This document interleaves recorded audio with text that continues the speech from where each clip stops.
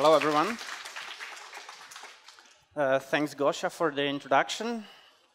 Uh, my name is Tomek, and I'm going to talk about documentation strategy. This is my third SOAP conference, but first one as a speaker, and this is also my debut on the stage, so please be understandable. A few words about me. So I'm from Wrocław, uh, a beautiful Polish city.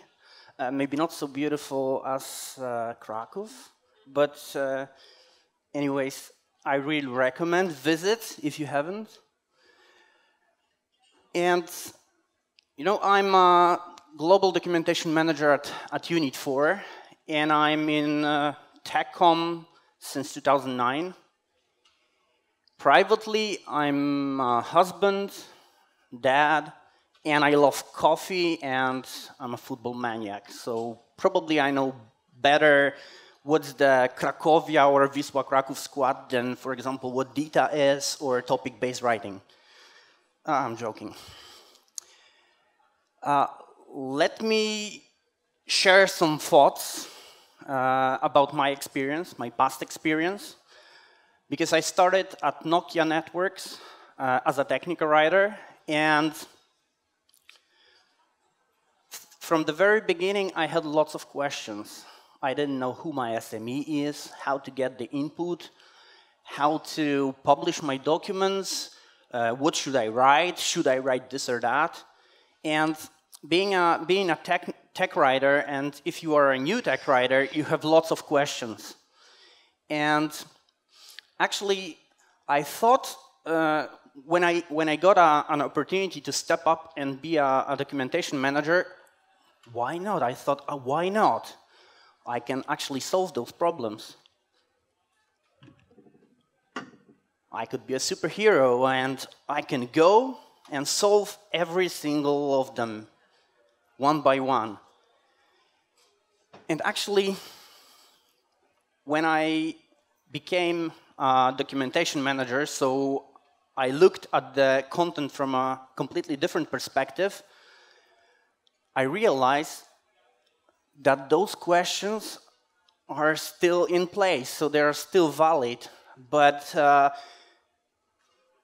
instead of having only those, I got many of other questions that are really very, very complex, and solution for them is not so straightforward. So this is uh, this applies to um, my both companies uh, I worked for. So I thought at some point in time that I missed something. And the thing I, I, I miss is some kind of strategy, is some kind of high, high level plan. So probably some of you heard about uh, content strategy term. If you read about technical writing, if you read about documentation, probably you stumble upon uh, on uh, on the content strategy uh, term. We have also a content strategist here with us, uh, and documentation strategist uh, with us.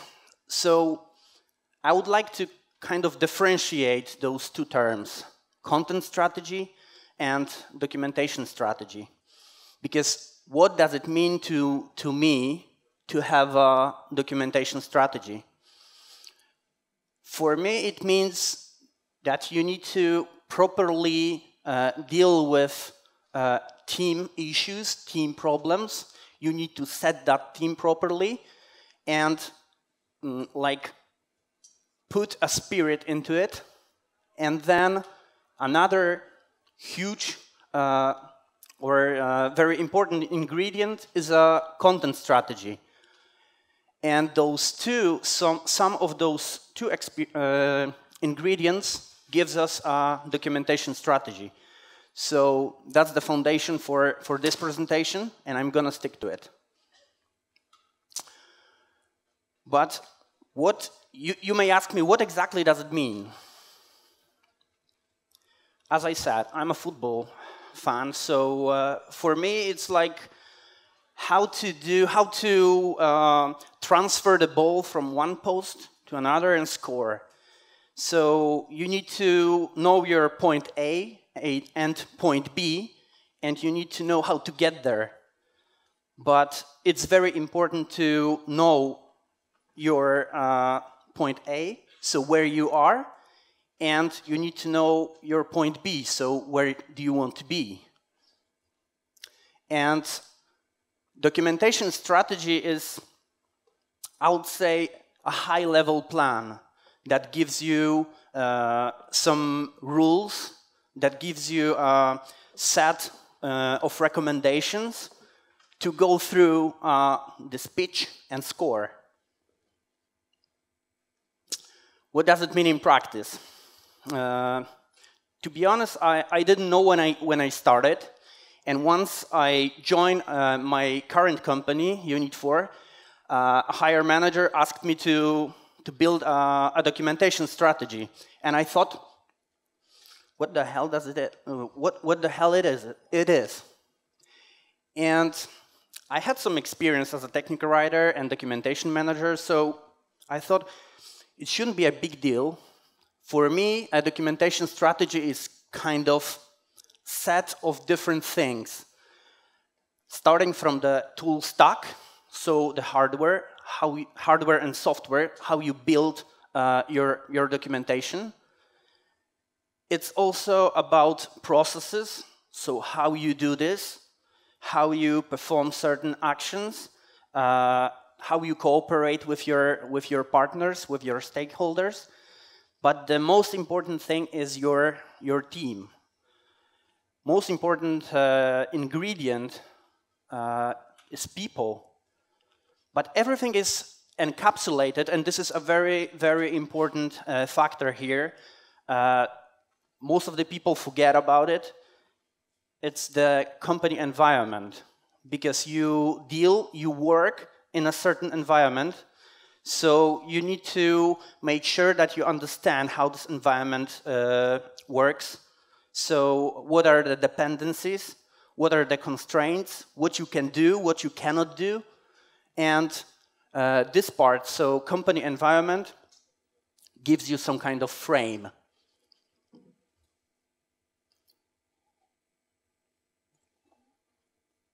One of the very, very important uh, of the company environment is the place in the, in the organization.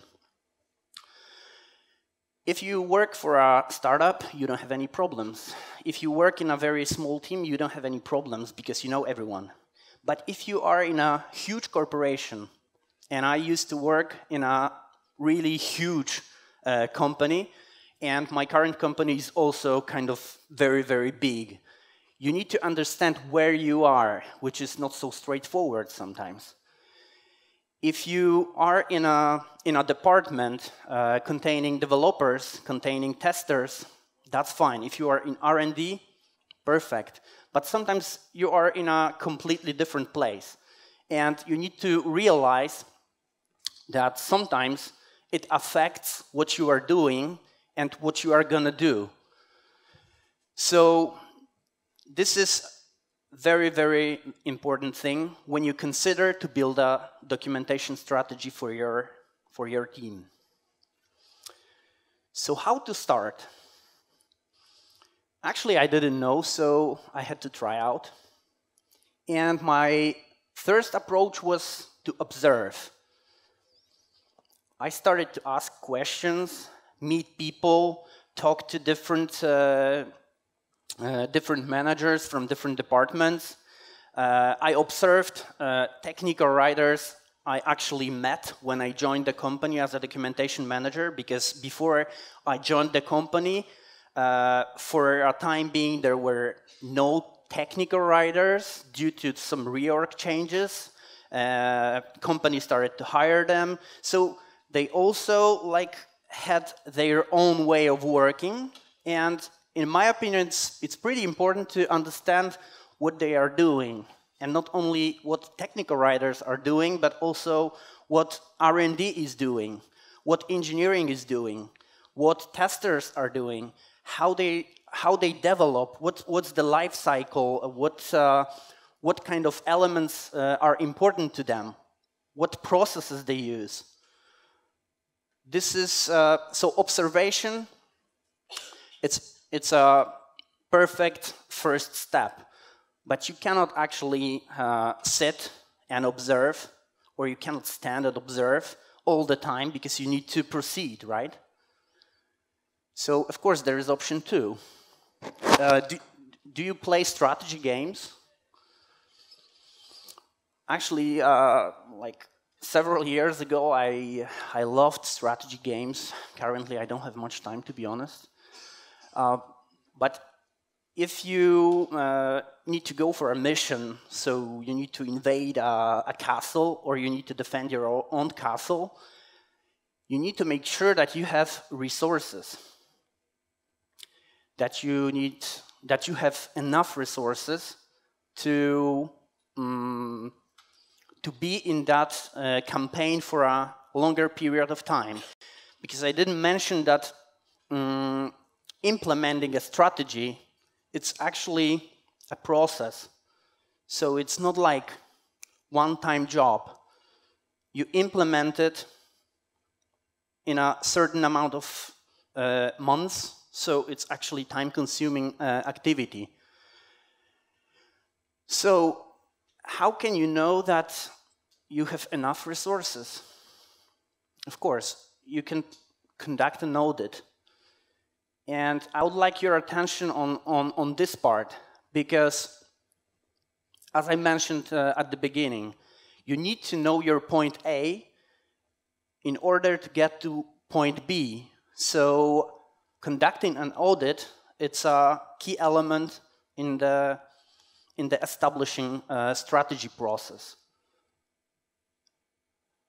Um, of course, there are a couple of um, different elements you can check during the, the audit. However, I listed um, most important elements that, uh, that work for me. So I concentrated on uh, uh, several different uh, aspects, like type of content, uh, requirements, but before you gather the requirements, you need to know who can actually give you those requirements. So you need to understand your internal stake stakeholders, and of course, you need to understand your external stakeholders' requirements. But if you don't know them, uh, I realized that it's important to understand your internal stakeholders first before you go to external stakeholders, so your customers. If you know requirements, you need to review your processes. You need to also check what's the quality level of the uh, delivery items. And what is also a second uh, part of that, uh, of that model, you need to check your information uh, architecture. You need to check effectiveness of your information model. And a small thing that actually caused many problems to me uh, you need to really make sure that you, that you know where your people are located and what they are doing. When I joined the company, uh, technical writers were uh, assigned to Scrum teams. So it is uh, what actually Łukasz mentioned. If you work uh, in, in R&D as a technical writer, it's better to be close to, to R&D. I totally agree with that. But sometimes when you join the company and uh, there is no documentation manager, there was no person responsible for, uh, for coordinating the documentation, you simply don't know certain things.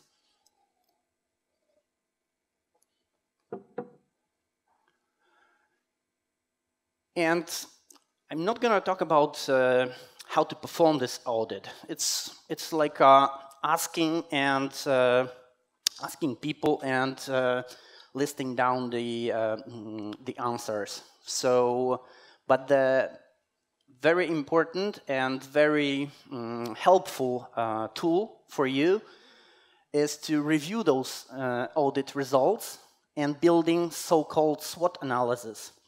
Probably you, you are aware of the, of the concept. So before you do the, the SWOT analysis, you of course need to uh, concentrate on certain aspects that uh, are very important to you. For me, as I mentioned, uh, content types, processes and uh, way of working. So uh, I wanted to really know how we are aligned with R&D way of working. I wanted to know uh, how far we are, uh, what I need to do uh, in order to adjust to their uh, way of working. So efficiency in in this in this process was extremely important to me. Of course, because we have limited time and limited resources, so I need to, I had to deal with, uh, with those limitations. So I concentrated on the process and uh, aligning this process into, into R&D way of working. I also um, came up, came up with, a, with a conclusion that we need to have some kind of standard. So in my current company, uh, technical writers that were very, very independent uh, use Microsoft Style Guide. So uh, I came up with a conclusion that actually I wasn't I wasn't sure whether whether they followed that uh, that style guide, whether they followed any rules. At some point in time, I had really uh, mixed feelings about uh, about the content quality. So, in my opinion, uh, I I came up with a conclusion that we need some kind of style guide and templates. So everyone is doing the same thing. So we are aligning, we are unifying. So I, I, I wanted to avoid a situation when uh, technical writers from one team, from one domain, uh, do uh, do completely different uh, stuff than from, for example, my other uh, writers from product B, for example. And you need to establish very clear quality criteria. And by quality criteria, um, you can actually take into account uh, really many different, uh, different aspects. But for me, quality uh, is equal to, um, to processes and to control, which uh, is uh, something that I'm to talk in a second. And the information model, so how effective you are in transferring the information from R&D to your customers. I'm not going to talk about, you know, bridges, uh, etc. But just to let you know, having the uh, effective information model will help you. You will see in a second why. I mentioned SWOT. SWOT, it's, it's pretty simple tool, so you just list strengths, opportunities, weaknesses, threats, so for opportunities, I, for example, listed that uh, technical writers are working very closely to, uh, to R&D, so they are a part of the team. Even though we are a team, a technical writer, or writing team, they are actually sitting next to uh, testers and developers, which was very, very important part of that, uh, of that plan. So we didn't, we didn't sit together like, you know, uh, next to each other. We were, uh, technical writers were and are sitting next to uh, their domain developers. Then you need to know what are the weaknesses of your, uh, of your potential strategy, what are the strengths and threats.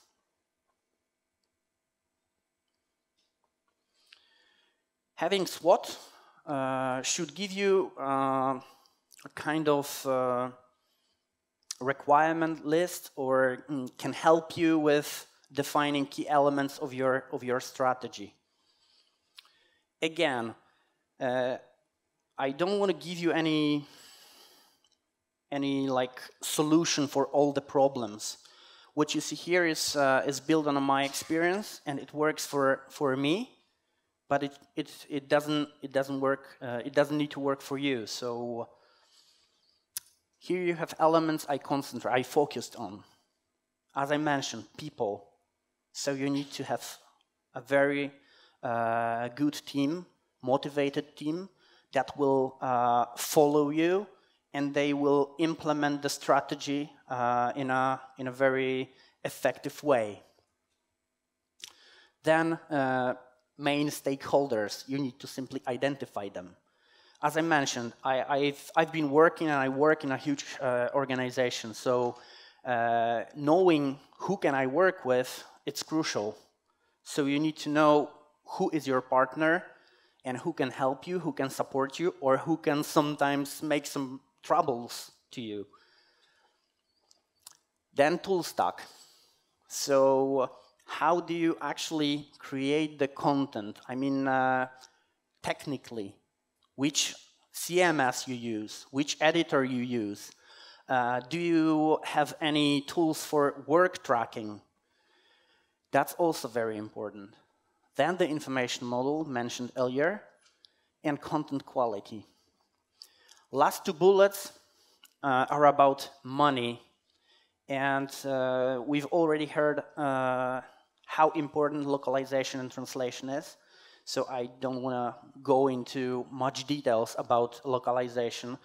But believe me, this is a huge topic, and you cannot, uh, you cannot like mm, make it. Uh, you, you should you should make it a, a, a big deal for you, because uh, in fact it brings cost.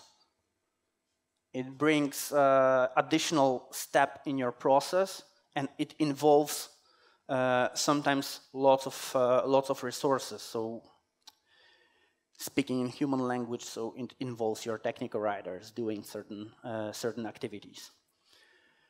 But speaking about money, uh, because in uh, in many presentations, in many uh, slides set regarding technical writing, like I didn't I didn't see much about money but in fact, we need to uh, understand that what technical writers are doing and what I'm doing as, a, as their manager costs. So we need to be aware about certain costs and we need to eliminate wastes. That's why I mentioned process as a key element. But we also need to take uh, into consideration uh, costs of licenses, uh, costs of trainings, costs of onboarding, and this kind of stuff. So, people, you may feel that uh, I'm a crazy guy, but I, I, really always wanted to build my team in a similar way as uh, football team is built. So I wanted to have Lewandowski as a striker, so my uh, content architect, who will be a kind of leader. I wanted to have uh, Zielinski, who will be a playmaker. I wanted to have strong wingers, uh, so my key users, so guys who will be taking care about uh, my tools. And uh, I, wanted, I, I, always wanted to be a goalie. I wanted to protect them. So being a Fabiański or Szczęsny, that, that was also, always my, my dream. So having a, a strong team with certain uh, let's say, level of skills definitely will, will help you. It's not always uh, a straight, for, uh, a, mm, a, simple thing to, to hire those people, especially if you, if you operate in a, in a market where uh, it's pretty uh, difficult to find technical writers or there is no profession like technical writing. But our uh, main assumption was that they should be very close to R&D, so we need to somehow onboard them. We need to train them anyway, so we need to hire people with a certain level of motivation, and we need to train them, train them, we need to invest in them. What else? It's very, very important to allocate those people wisely. So you cannot actually make Lewandowski a goalie and Fabiański a striker. So if you identified certain skills, uh, so your people can do certain things, like you have a technical writer with, I don't know, certain, certain skills, like they can code, for example, they can make some scripts. Use this, use this fact, allocate them properly, if you cannot do that, you simply need to invest in them. It's also very important, uh, this fact I, I, mentioned. So if you operate in many countries, uh, you need to make sure that people uh, communicate uh, to each other. So if you have a virtual team or a semi-virtual team, so you have people in different countries, make sure that you are a team, that you uh, talk to each other. So you have, they have a mean, or you, you together with, with your team have a mean to, to communicate. In my case, for example, Slack works, works very, very good. Of course, we have our team page, we have meetings, uh, we discuss certain, uh, certain problems, we have a team uh, technical writing guild for you know knowledge sharing. So those things are, are pretty important.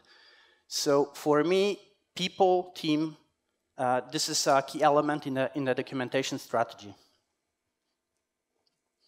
Then stakeholders. In huge organizations, you can actually identify many different organizations or uh, the disciplines that can help you. Those yellow ones, uh, and all of them are actually from my organization, current organization, and I identified those that are crucial, are key for my technical writers. You probably may ask why I haven't uh, marked UX. Probably it was by mistake.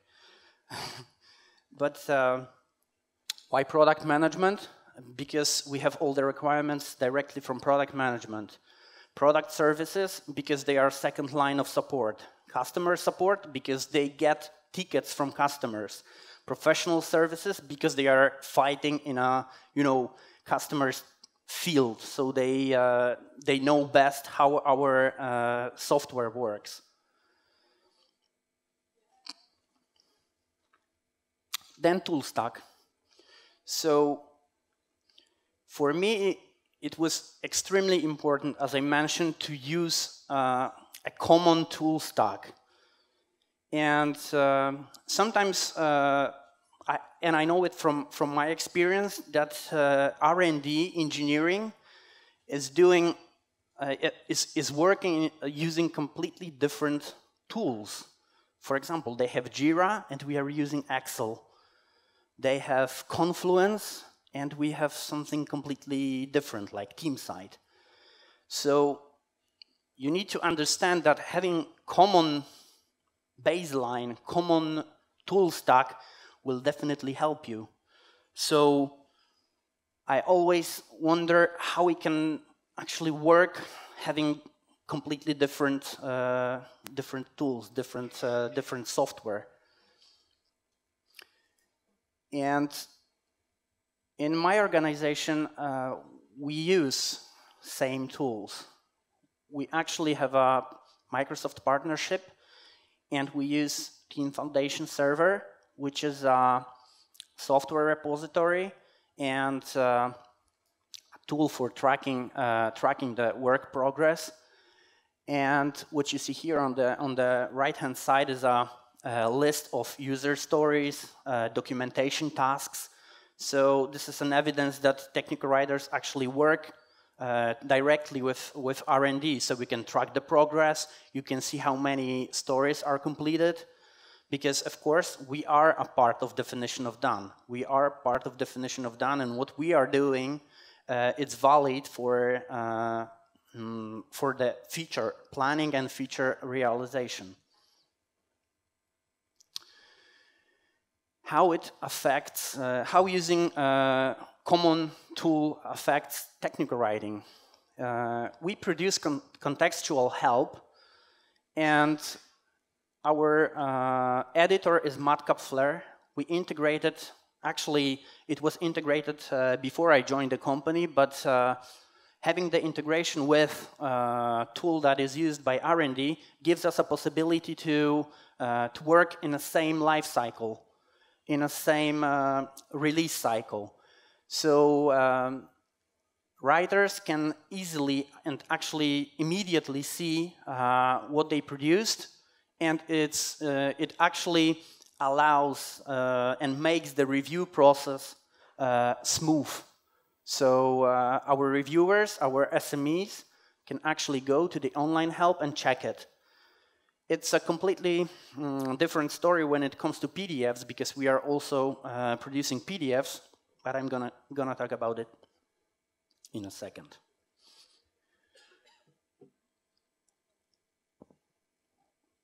Information model. When I started to investigate what we deliver, I realized that we have so many documentation types. And my first thought what was, why we have so many? The maintenance is so costly, it takes some time. And most of those, mm, uh, those elements, those documents were PDFs. So our uh, internal portal uh, was and still is a SharePoint. So you need to take one document, put into SharePoint, uh, inform your SME that um, the document is ready for the review. So you can imagine if you have so many documentation types, it's actually it's time consuming. So again, having limited resources, limited time, you need to do something with it. And my idea was to reduce those elements.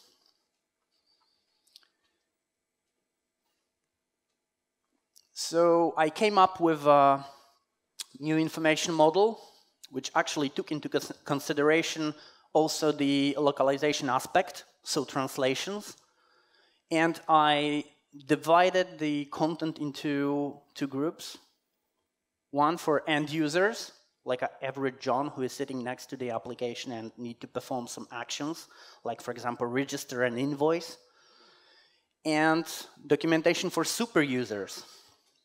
And this is kind of phenomena in my uh, in my company because uh, nobody knows who super user is, but we were trying, you know, to talk to uh, more experienced people, to UX team, uh, so they are um, they um, produced or they developed a persona for us. So we more or less know that those people are uh, functional impl uh, implementation consultants, admins, etc. But this documentation, uh, in our idea, in my idea, shouldn't be uh, shouldn't be translated. Translated. So it's kind of cost saving from one side, but it, it's, it's also a time saving for technical writers and uh, localization specialists who actually coordinate the, the translation process.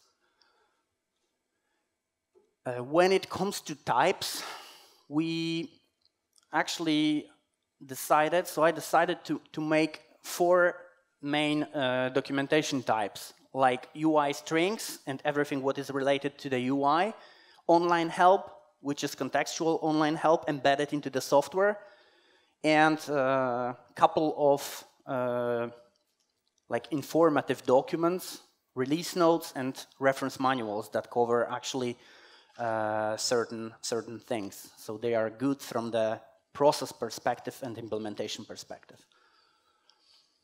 When it comes to quality, um, I didn't invent a wheel, so this is kind of uh, standard process con uh, containing the several steps well known to almost every technical writer. Define, write, then peer review, meaning check the language quality, then review it against the functional uh, correctness, test it, and this is also uh, good to mention that uh, we also have two type of tests. Uh, testing by technical writers and testing by testers, so the functional testing. They just click the application and check whether the, the online help is, is popping up. Then publishing and maintaining. And as we are working Agile, uh, it should be a circle, so uh, please, uh, please note it uh, also the, this fact. And uh, having this uh, very simplified process, I was trying to answer a few, like four main questions. What, who, how, and where. In what, it can be actually anything. So what I deliver, what, what should I do with this content? Who is my SME? How should I write this or that? Having, for example, templates, it will simplify it where should I publish? So those elements are, uh, those ingredients are part of the uh, quality element. How to transfer it in a, uh, let's say, developer's language. So make a chart. Uh, I heard today that they like charts, so maybe that would be useful for them.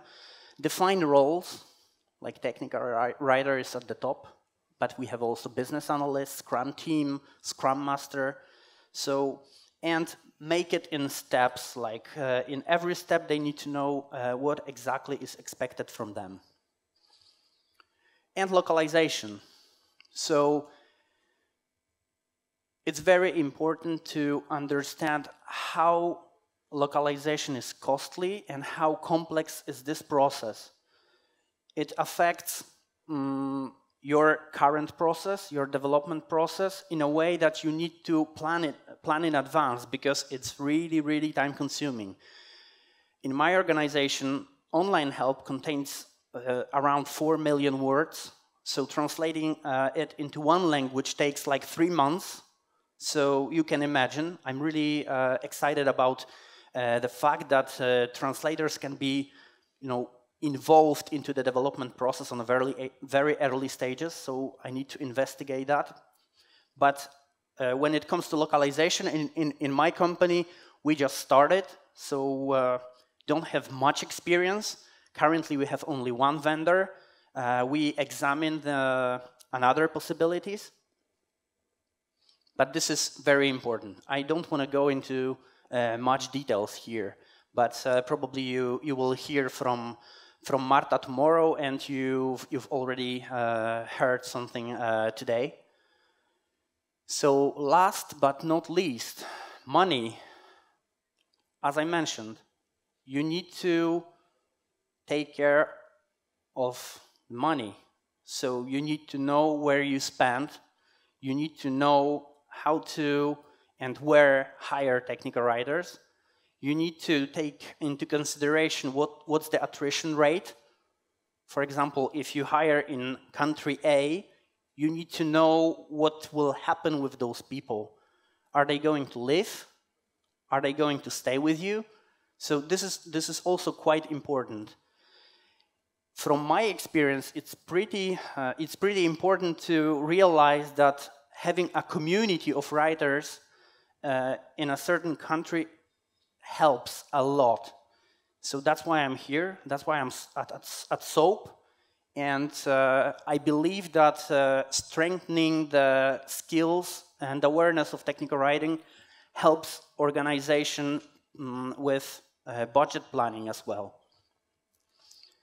I mentioned already about licenses, uh, about trainings, onboarding, so this costs, be aware of that. So finally, how I build the strategy pillars.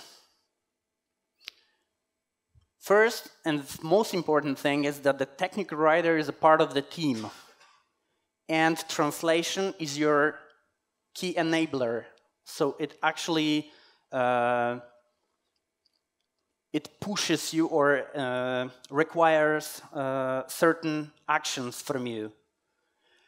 When it comes to content, uh, again, I didn't, I didn't invent a wheel, so some of those uh, elements are already, were already mentioned today. So I would like my content to be easy to translate, find, read, be consistent, and engaging. Then implementation. So I used a very, very well-known uh, design, measure, analyze, improve, and control process but what I would like to stress is the communication part. Because what will happen with, with your great strategy if you actually do not communicate it properly? So I'm a supporter of over communicating. So tell even more people about your strategy, about your plans, about your uh, achievements, because they should know you are a part of the of the team. So finally, some tips from my side. Make it simple. If you make it simple and you present it to higher managers, they understand. copy pasting doesn't work. And I'm not talking about content. I'm not talking about uh, copying content from a design and put it into the, into the document. I'm talking about copying way of working from one place and adapting, in, adapting it in another place. So I thought that what I've learned in one company can be easily adapted in another company. That's not true. That's not true. Organizations uh, differ. Be aware of that. And assumptions uh, lead to disaster. And actually, I made many, many mistakes, and I had many, many problems uh, while making, you know, uh, because of making some assumptions. So be careful. Don't make assumptions. It's better to ask more questions than make a stupid mistake. And don't break things that already work. So you don't need to improve everything. If something works, just leave it. It, it should, uh, if, if it worked, it should work uh, as well in, in, your new, in your new strategy. Then about the company structure, as I said, it determines many, many, many aspects over-communicated, I already uh, mentioned. And last thing, but not least, documentation is a part of a product, always. So that brings me to, to the end of my presentation. Thank you. Thank you, Tomek.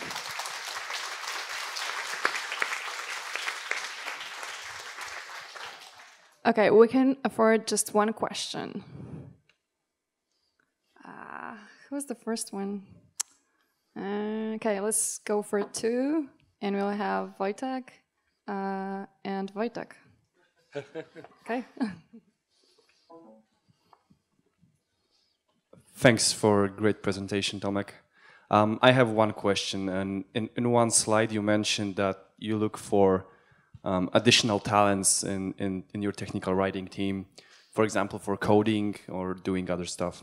I wonder what's your strategy on um, dividing technical writers' work? Um, do you, for example, suggest them to do a time split? For example, um, you know, 80% is a project work and 20% additional stuff, or do you have any other strategy on that? Yeah, that, that's a very good question, Wojtek. Thanks for that. So. Uh, my strategy, if, if uh, I may call it a strategy, is to give them uh, a space for trying out different, different things. So if they would like to code, I will make sure that they will have a time to, to code or to ask uh, questions to testers, work together with testers, try out certain things with developers. So I'm not sure whether it's a strategy. It's kind of I'm I'm up to it. Like I, I like it. I like to give people freedom. So they can contribute into certain things. Okay, thank you. Okay, thanks. Uh, I'd like to first comment on the presentation. I can relate to most of the things you said. And you said that it's not, uh, copy paste doesn't work, but many, many things you said actually are very similar to my uh, experience. So if you listened carefully, yes, he's right. Uh, and um, you said about assumptions, and I actually have two questions, but you can choose which one you, you answer. Um, uh, which assumption was like the greatest mistake in your opinion that you made? What, what, what kind of an assumption? And the second question is, how do you defend yourself against making assumptions? Hmm, I'll take the first one. So I, I assume that everyone understands me, which is not completely true. So if you say something once, probably you need to be ready to explain it twice or even more times. So you, you remember, Wojtek, the over-communicating bullet. So I'm, I actually, that, that, that's, that's my problem. Uh, lack of communication sometimes brings you to some troubles, so it's better to over communicate. Thank you. Okay, guys. Uh, Tomek, thank you a lot. Uh, thank you, guys.